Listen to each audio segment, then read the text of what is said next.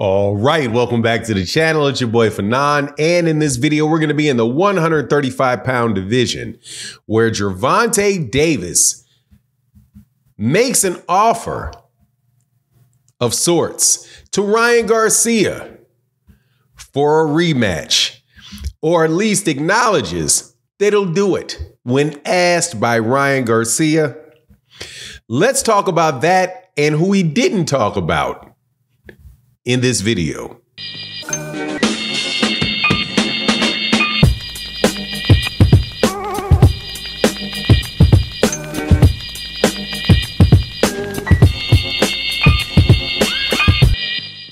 All right, welcome back to the channel. It's your boy Fannon. In this video, we're going to be in the 135 pound division or 140 pound division as Gervonta Davis uh, did a job on Frank Martin last night I am a big Frank Martin fan, and I can't wait to see Frank Martin in his next fight.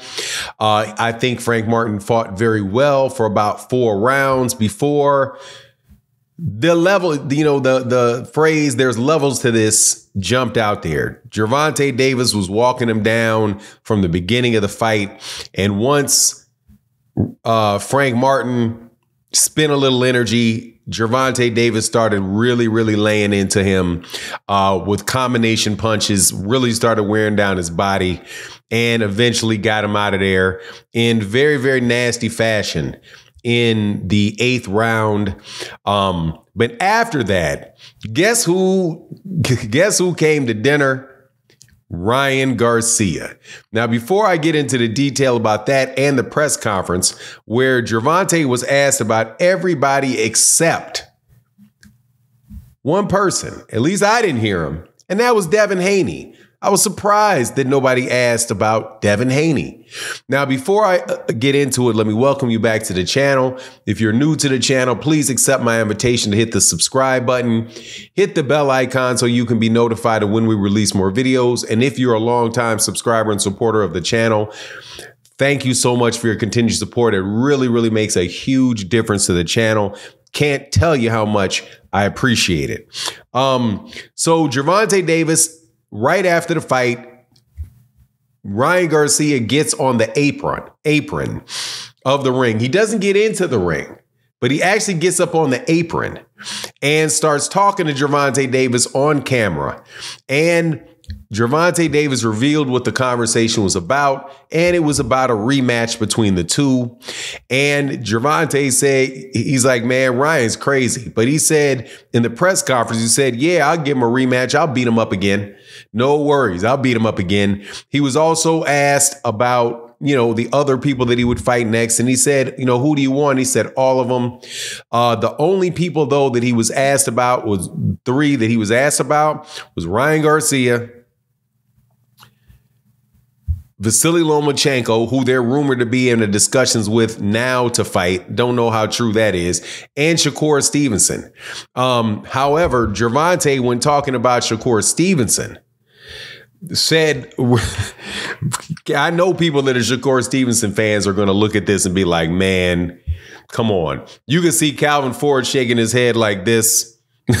and because the person was asking the question phrased it in a way like, hey, do you think that uh, Gervonta Davis, you know, you think fighting Shakur Stevenson would be a good fight and an entertaining fight like this was with Ryan Garcia? Or do you think that Shakur Stevenson is going to just, you know, not engage and move around and make it a boring fight?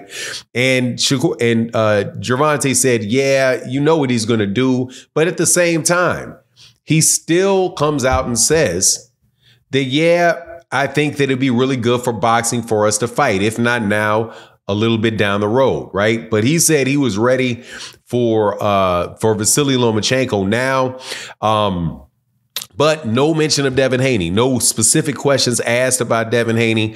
Um and no um so no response specifically given to him, even though other than just referring to for referring to him by reference by saying um that you know he wants to fight all of them.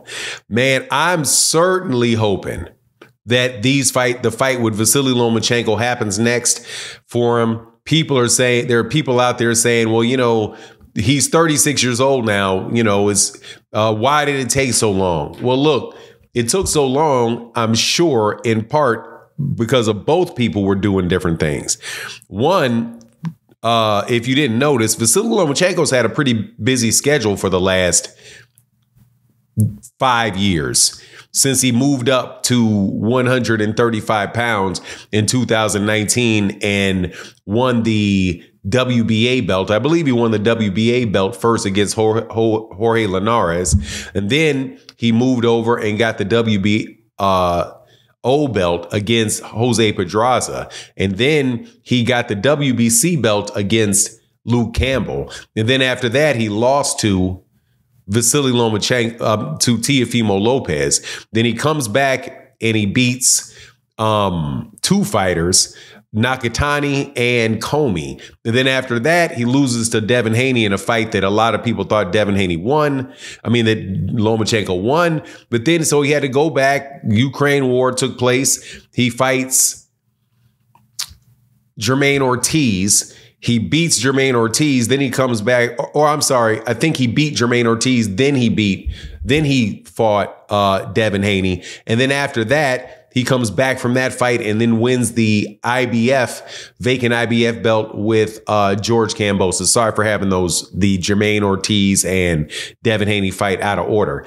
Um, but so he's been pretty pretty busy, man, with this idea of becoming an undisputed champion. So now he's 36 was he 36 maybe 38 years old I don't think that makes I don't think that age is going to make much of a difference with Vasily Lomachenko because Vasily Lomachenko is man, he looked extremely good against uh, against George Kambosos and stopping George Kambosos. So I still think that's a very, very viable fight.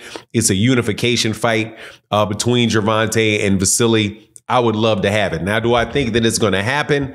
We'll see. Um, we will see whether that really happens or not.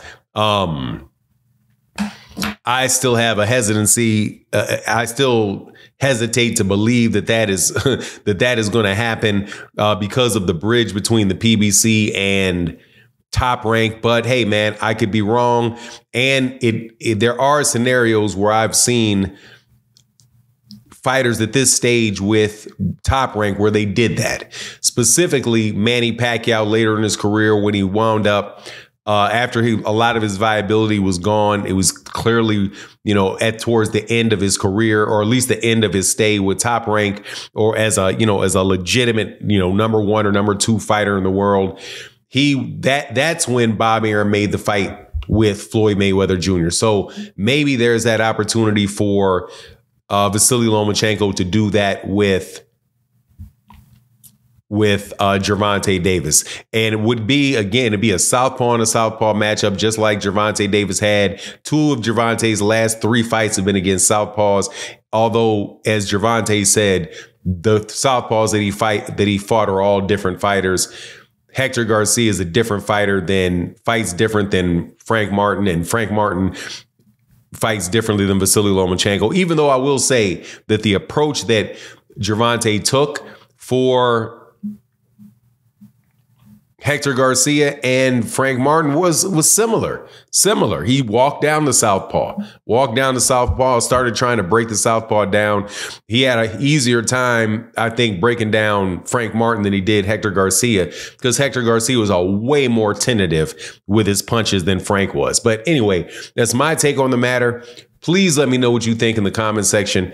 And with that, I'm out. Deuces.